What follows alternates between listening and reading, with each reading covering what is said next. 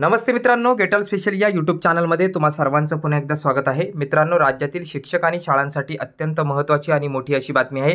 कारण शिक्षण विभागाने राज्यातील शाळांसाठी एक अजब निर्णय घेतलेला आहे आणि या निर्णयाच्या अंमलबजावणीच्या सूचना शाळांना देण्यात आल्या आहे. शिक्षकांना मास्तर याचा मोठा मनस्ताप सहन करावा लागणार आहे. सविस्तर अपडेट या व्हिडिओमध्ये आपण पाहणार आहोत. त्या अगोदर तुम्हाला ही माहिती आवडल्यास व्हिडिओला लाईक करा आणि अशाच नवनवीन अपडेटसाठी गेटल स्पेशल या चॅनलला सबस्क्राईब करायला विसरू नका. चला पाहूया सविस्तर. तीन महिने अभ्यासक्रमाची पुस्तके गुंडाळून ठेवा. दिशाच्या अंमलबजावणीसाठी डायट प्राचार्यांच्या शिक्षकांना सूचना. जिल्हा शिक्षण आणि प्रशिक्षण संस्थेच्या दिशा या महत्वाकांक्षी उपक्रमाच्या अंमलबजावणीसाठी तब्बल तीन महिने अभ्यासक्रमाची पाठ्यपुस्तके गुंडाळून ठेवा.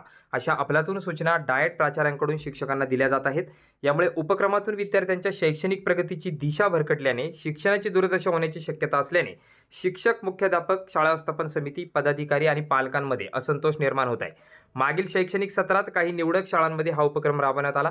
यावर्षी हा उपक्रम इयत्ता दुसरी ते आठवी करता जिल्हा परिषदेच्या सर्व शाळांमध्ये राबवला जात आहे.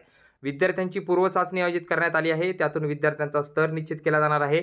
या सर्व विद्यार्थ्यांची बैठक व्यवस्था वर्गनिहाय न करता स्तरनिहाय करून शिक्षकांनी दिवसभरात दीड दीड तासांच्या तीन तासिका असे तब्बल साडेचार तास या उपक्रमाचे वर्ग घ्यायचे आहेत. त्यामुळे शासनाने इयत्ता निहाय निर्धारित करून दिलेला अभ्यासक्रम शिकवायला वेळच उरत नाही.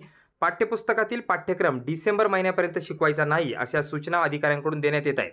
अधिकाऱ्यांच्या आवडीच्या उपक्रमाचा अभ्यास शिकवायचा की राष्ट्रीय शैक्षणिक धोरणानुसार निर्धारित केलेला अभ्यासक्रम पूर्ण करायचा असा यक्ष प्रश्न आता शिक्षकांसमोर निर्माण झाला आहे. तर हा उपक्रम अभ्यासात मागे असलेल्या विद्यार्थ्यांसाठी पूरक ठरणार आहे परंतु सरसकट सर्वच विद्यार्थ्यांसाठी राबवला जात आहे. या उपक्रमाच्या चुकीच्या अंमलबजावणीमुळे विद्यार्थ्यांची शैक्षणिक गुणवत्ता न वाढता यामुळे विद्यार्थ्यांचे शैक्षणिक नुकसान होण्याची शक्यता अधिक आहे.